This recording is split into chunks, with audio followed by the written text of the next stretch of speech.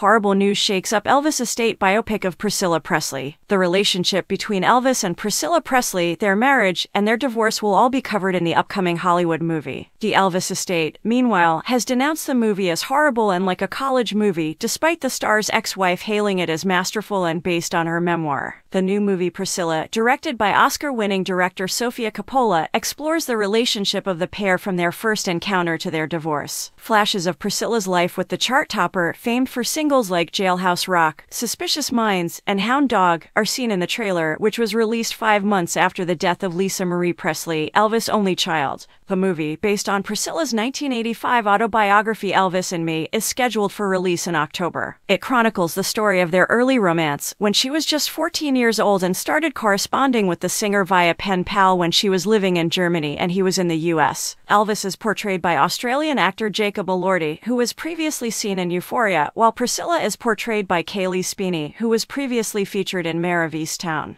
During the 1980s, Elvis' ex wife, who played the lead in the soap opera Dallas, served as the movie's executive producer. According to the singer's estate, the new biopic was made without their consent or knowledge. Lisa Marie received Graceland, a mansion on a 13.8 acre estate in Memphis, Tennessee, after the rock star died there in 1977 at the age of 42. She was discovered dead in the bathtub. It was passed down to her three daughters after Lisa Marie passed away suddenly in January of this year at the age of just 54. Officials representing representing the 18 time chart topper's estate have criticized the new biopic, though they haven't publicly discussed it. Coppola's screenplay and directing are deemed horrible by one estate official who attended the movie. They said of the film, it feels like a college movie to the American entertainment website TMZ. The set designs are very appalling. This is not how Graceland appears. The movie will be released in theaters in October, and Priscilla has vowed that viewers would enjoy the journey despite the estate's criticism. I am thrilled with how the brilliant Sofia Coppola will adapt my work.